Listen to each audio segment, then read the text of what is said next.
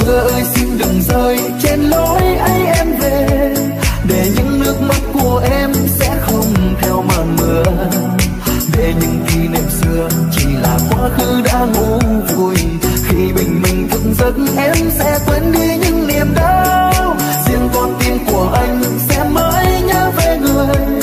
Giọt nước mắt rơi lặng lẽ mỗi khi đêm trôi mình anh.